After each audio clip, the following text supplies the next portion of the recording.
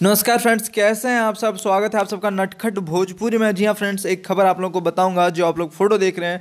आखिरकार रवि किशन के पिताजी अभी नहीं रहे। जी फ्रेंड्स, रवि किशन के पिताजी का देहांत हो गया और रवि किशन जी बहुत ज़्यादा दुख में हैं। इन्होंने कहा कि मेरी दुनिया लुट गई, क्योंकि रवि किशन जी अपने पिताजी से बहुत ज़्यादा प्यार करते थे और बहुत ज़्यादा प्यार था। साथ में आप सबको बता दूँ खेसाई खेसाई लाल यादव जी भी ने अपना फेसबुक पर पोस्ट किया और रवि किशन जी के लिए इनके पिताजी के लिए श्रद्धांजलि दी और साथ में सभी तमाम भोजपुरी एक्टर एक्ट्रेस ने रवि किशन के पिताजी के लिए श्रद्धांजलि दी। और सबसे दुख की बात यह है फ्रेंड्स कि रवि किशन के पिताजी जो थे, वो बहुत ही नेक दिल के इंसान थे। रवि किशन भी बहुत अच्छे इंसान थे और उनका जो शव है फ्रेंड्स, वो बनारस में जलाया गया। और आप लोग देख सकते हैं, ये बनारस की गलियों में उनका शव ले जाते हुए वैसे भी रवि किशन के पिताजी बनारस में ही रहते थे। बनारस एक बहुत ही अच्छी जगह है जहाँ रवि किशन के पिताजी रहते थे, लेकिन अब रवि किशन के पिताजी इस दुनिया में नहीं है फ्रेंड्स। उनके लिए, जी हाँ फ्रेंड्स, उनके लिए आप लोग भी दो मिनट का मौन धारण करें ताकि उनकी आत्मा को शांति मिले और बहुत ही नेक इंसान है रवि किशन जिन्होंने भोजपुर इंडस्ट्री को बहुत आगे बढ़ाया और ये सभी इंडस्ट्री में काम करते हैं